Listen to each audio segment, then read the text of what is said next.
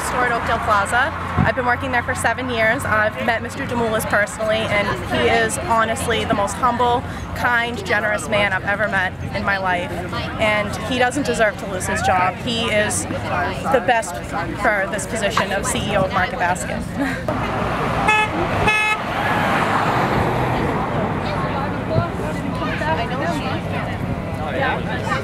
Uh, Uh, I came all the way from New Bedford because of what Artie Demoulas has done for the city of New Bedford by bringing a market basket in.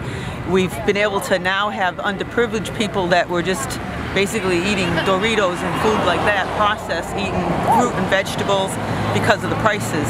And the revenue it's brought into New Bedford, probably a million dollars a year, plus all of the employees where we have such a high unemployment rate in New Bedford, 10%. Um, it's just been amazing. It's been the best thing that's happened to New Bedford, and we just don't want to see anything happen to Artie. That's it. I have a nonprofit called Brick by Brick, and the people that are at Brick by Brick are now working there at the market, and it's just amazing things for the, for the city. Here to support what a successful place Market Basket is with Arthur T. I don't want to see him go.